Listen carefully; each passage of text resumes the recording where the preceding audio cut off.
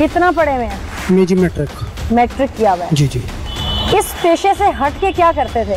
मैं जी प्रॉपर्टी का काम करता हूँ। काम। है? जी जी। अच्छा शादीशुदा है? जी जी। बच्चे बच्चे भी होंगे? जी बिल्कुल कितने हैं? जी चार बच्चे। यहाँ आए हैं पिशावर में हैं? जी यहाँ है। यहाँ पे ही हैं? जी जी। अच्छा। ये मैट्रिक पास आप जैसा आपने मुझे बताया कोई इंसान इनलिटरेट होकर इतनी हैवी प्लानिंग नहीं कर सकता। ये ख्याल कैसे आया और अब तक किन किन इदारों का नाम इस्तेमाल कर चुके हैं? ये जी जमान का जी एक आइडिया था। जमान ने हमको दिया था कि आप इस तरह बन के आ जाओ और जो भी प्लानिंग मैं बताऊँगा वो कर लिया करो। इससे पहले किन किन इदारों का नाम बदनाम किया? सिर्फ़ जी एक ही नाम बताया हुआ है। नारकाटिक्स का। वैसे पहले एक जगह पे एफआईए का नाम दिया था। अच्छा उसके। क्या बने थे? जी वही उधर इंस्पेक्टर बना था जी। अच्छा। कितनी वारदातें कर चुके हो? इधर जी चार की केपीके में तीन चार के पी के में भी जी किए। अच्छा आहिस्ता जी। आहिस्ता याद आती जा रही है। जी जी। आठ तो हो गई हैं। जी जी। बाकी जो रिकॉर्ड है वो भी निकल आएगा। जी बिल्कुल बिल्कुल यही किए जी। अभी तक की इतला के मुताबिक तुम्हारी कई वारदातें हैं और वो आठ नहीं है वो लगभग तीस के करीब है। जी।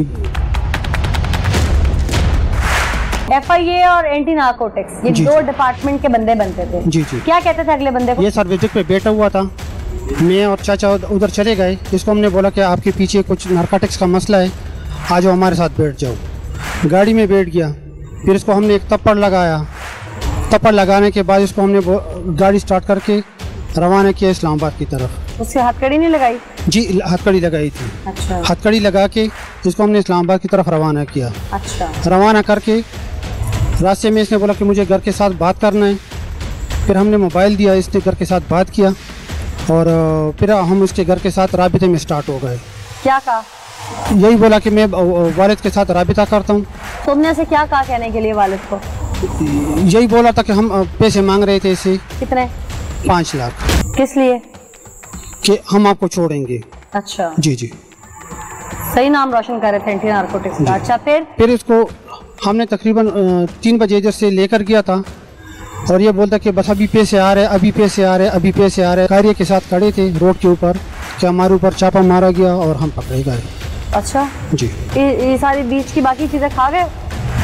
कितनी बार कॉल की थी उसके बाप को? जी बिल्कुल उसके बाप को तकरीबन कुछ आठ दस बार कॉल की जी किसने बात की?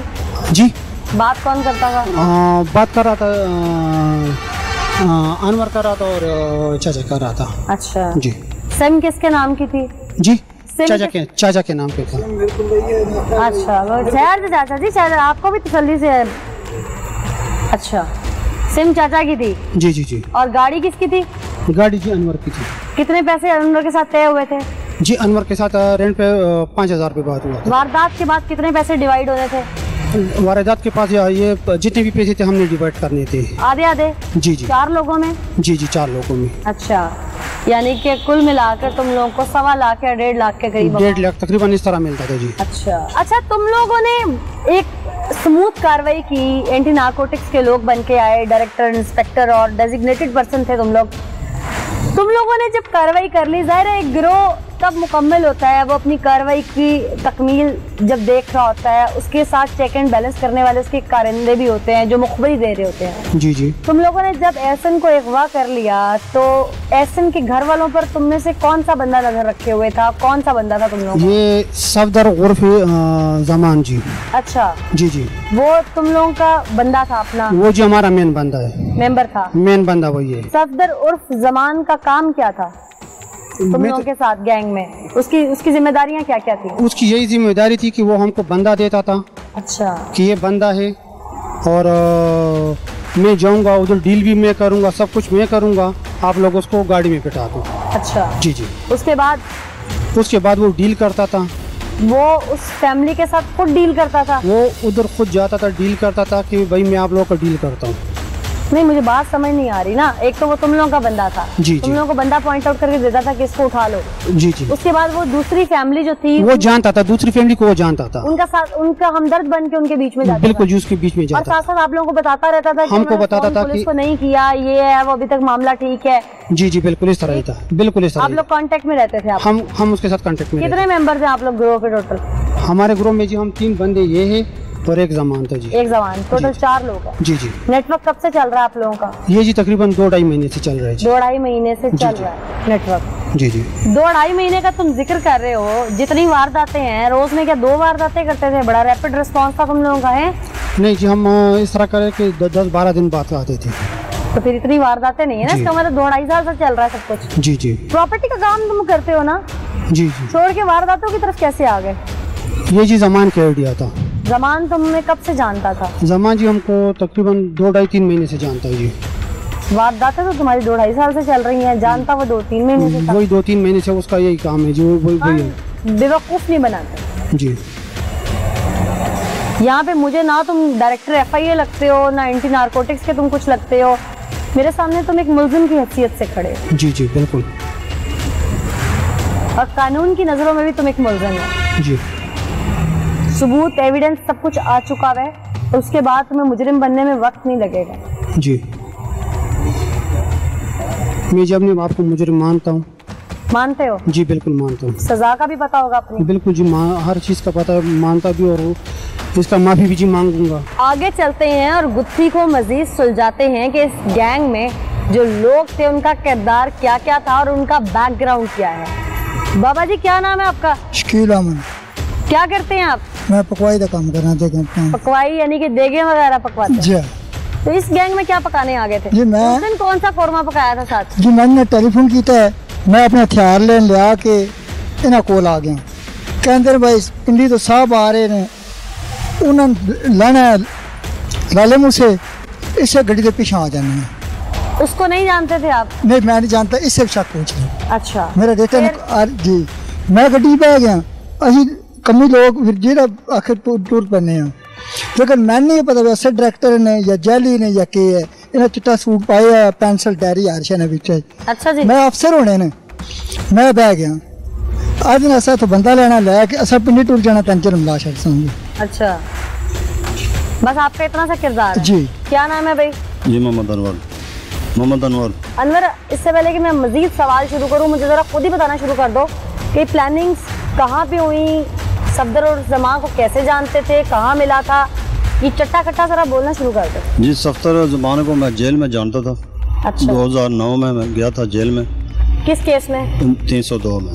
कत्ल के अपना ज़ाती जो घर में मसला था हमारा घरेलू मामू था वो हमारा। हम्म। उस मसले में मैं गुजरात जेल में गया था। उधर इससे मुलाकात हुई थी। उधर ये जी?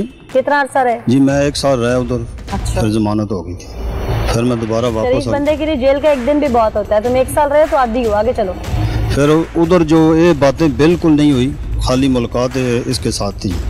जब भी मैं बाहर आया हूँ अभी तकरीबन तीन चार महीना या छः महीना गुजर गया है ये मुझे मिला है। अमूमन जो क्रिमिनल्स होते हैं वो जेल में जाकर अपने साथी बनाते हैं अपना रैकेट नहीं।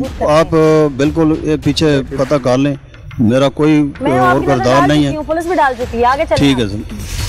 तो ये छः महीना से मेरा अभी जो- बाहर आया ना एक गाड़ी ली है इससे।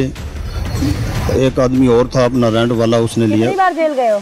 जी जेल मैं दो दफ़ा गया एक दफ़ा एक साल रहे दूसरी दफ़ा? एक महीना बारह दिन उसी केस में। अच्छा तीन सौ दो में? जी। ठीक आगे? मेरी गाड़ी रेंट से लेके आते हैं। बोलते हैं कोई काम हो जाएगा तो पहले पाँच हज़ार रुपया आपको रेंट देंगे। अगर कोई काम हो गया तो इंशाल्लाह आपको आधा क्या हिस्सा देंगे काम? कोई पिक एंड ड्रॉप देना था? कोई स्कूल कॉलेज को गाड़ी लगानी थी? नहीं ये डायरेक्टर थे बोलते हैं मैं एफ़ का डायरेक्टर हूँ। तो जमान ने बोला इसको कि मैं कोई क्रिमिकल जो इधर लोग हैं ना जेंट हैं जो बाहर बंदे बेचते हैं आगे पीछे बेचते हैं वो मैं आपको उठाऊँगा। हम्म। नौसरबाजी में तुम भी पूरे शामिल थे। जी हवलदार थे तुम? जी। हवालदार बन के आए थे। और ये बाबा जी क्या बने हुए थे? साथ में क्या? भी पुलिस अफसर हैं पुलिस अफसर बने हुए थे sub inspector sub inspector Afzal साहब आपने तफ्तीश की होगी। ये लोग तो अजीब अजीब कहानियाँ सुना रहे हैं। आपने क्या अभी तक ढूंढा इन सब में? क्रिमिनल हैं इन्होंने इनको किडनैप किया है।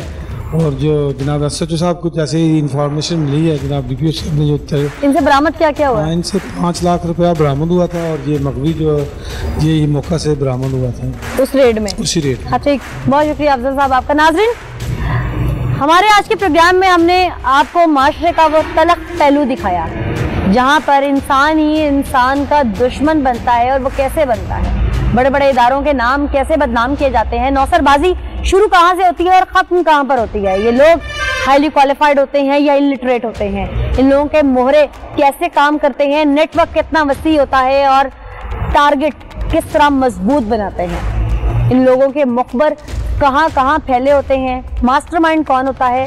और सबसे ज़्यादा चौंका देने वाली बात ये थी कि ये लोग रिकॉर्ड याफ्ता मुजरम होते हैं। ये जेल में बैठकर पिछले अमल का सबक सीखने की बजाय नई प्लानिंग्स नई क्रिमिनल एक्टिविटीज़ को तरतीब दे रहे हो। खुदारा, अपने इर्द गिर्द, हर उस शख्स पर नज़र रखिए जो आपको मशकूक लगे।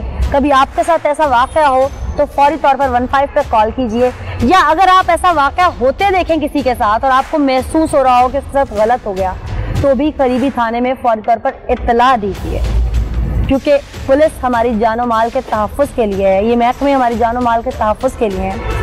ये आज एक गैंग पकड़ा गया है, लेकिन हम लोग कोशिश जारी रखेंगे और ऐसे कई नौसरबाज पकड़कर मंजर आम पर ले आएँगे ताकि इनकी जड़ ख़त्म हो। आज सबक इनको मिल रहा है, लेकिन सीख उन तमाम क्रिमिनल्स को है और उन लोगों को है जो निशाना बनते हैं कि अपने आप को बचाया कैसे जा सकता है और अपने आप को सुधारा कैसे जा सकता है। आज के एपिसोड से मुझे इजाज़त दीजिएगा।